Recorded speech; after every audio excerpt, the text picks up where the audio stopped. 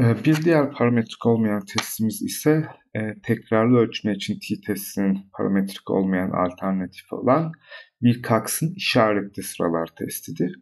Bu Wilcox'ın sıra toplamları testiyle karıştırılmaması gerekir. Wilcox'ın sıra toplamları testi, Mermit'in U testinin matematiksel olarak özdeşi olan aynı e, amaçla kullanılan e, bir testi.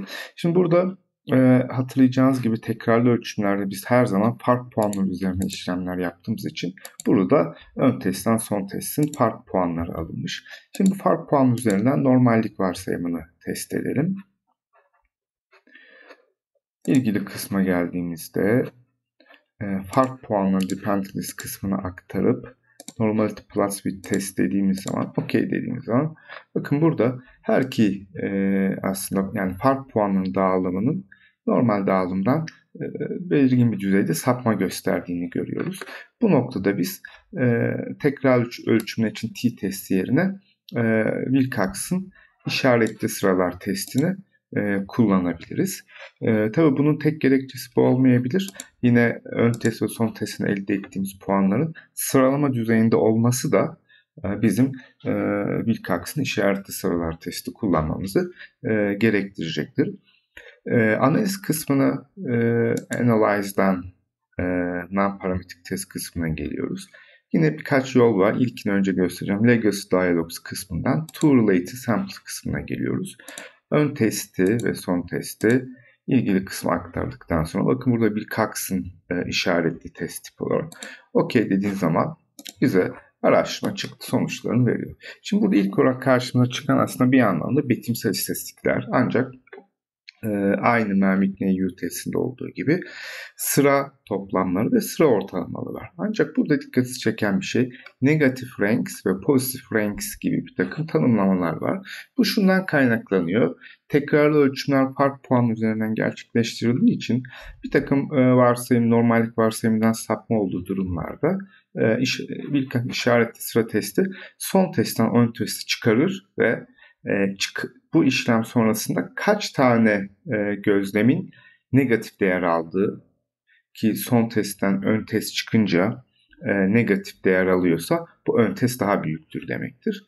Ve pozitif renkte son testten ön test çıkarıldığı zaman e, kaç tanesi pozitif bir değer alıyor. Yani sıfırdan büyük bir değer alıyor ki bu da e, son testin ön testten daha büyük olduğu anlamına gelir ve kaç tanesi sıfır değeri alıyor yani ön test ve son test puanları eşit.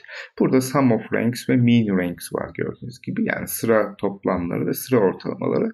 Burada baktığım zaman pozitif ranks daha fazla yani son testin daha büyük olduğu yani son testin ön test çıkardığı zaman pozitif değer aldığımız durumdan son testin daha büyük olduğu e, durumların sıra ortalaması daha yüksek. Bu şu anlama geliyor. Ön testten son testte bir puan artışı olmuş. Peki bu puan artışı istatistiksel olarak anlamlı mı? Yine burada Z değerine odaklanıyoruz. Bu asymptotik e, significance değerine e, bakıyoruz. Sonuç istatistiksel olarak anlamlı 0.05 veya 0.01 gibi farklı e, değerleri kesme olarak kesme puan olarak alabiliriz. Etki büyüklüğü de aynı e, Mermit'in U testinde olduğu gibi Z bölü karekök n şeklinde hesaplanıyor. Bu elde ettiğimiz değer nokta 50'nin üstü olması büyük. Nokta 30 ve 50 arasında orta olması orta. Nokta 30'un altında olması da küçük etki olarak yorumlanabilir. Diğer yol ise biraz daha otomasyon e, süreç. Burada da bizim e, elde ettiğimiz e, grupların tekrarlı ya da ilişkili grup olup olmadığına karar vermemiz gerekiyor. Bir kere ona karar verdiğimiz zaman Related Samples kısmını işaretliyoruz. Fields kısmına geldiğimizde ön test ve son test e, kısmını atıyoruz. Burada e, analiz eğer ki tekrarlı olarak elde edilen gruplar 2'den fazlaysa Friedman gibi bir test yapıyor. Eğer iki tane ise Wilcox'ın e, işareti sıralar testini otomatik olarak hesaplayabiliyor. Run dediğim zaman bize otomatik sonucu veriyor.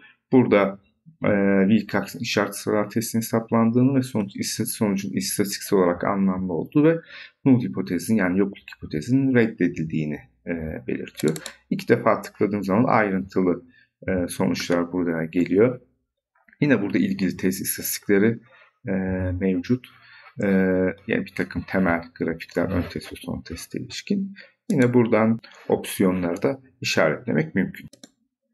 E, bu opsiyonlarda örneğin e, ilişkili ölçüme ilişkin grafik ve sürekli verilere ilişkin grafik yani demek istediğim zaten verim sürekli de olmayabilir ama ön teste ilişkin sonuçları veriyor. Burada da son teste ilişkin sonuçları ayrı ayrı verebiliyor sürekli. E, buraya işaretlediğiniz zaman da şu anda ekran dışında olduğu için tıkladığım yeri göremeyebilirsiniz ama hemen e, ilgili kısmın altına menüde belirli. Burada da her ikisini birlikte gösteriyor. E, ana hatlarıyla e, Wilcox'ın işaret sıralar testi de bu. Yalnızca tekrar hatırlatayım. Wilcox'ın işaretli sıralar testiyle Wilcox'ın sıra toplamları testini birbirine karıştırmayın. Çünkü biri bağımsız gruplar için diğeri tekrarlı gruplar ya da ilişkili gruplar için ele aldığımız bir yöntem.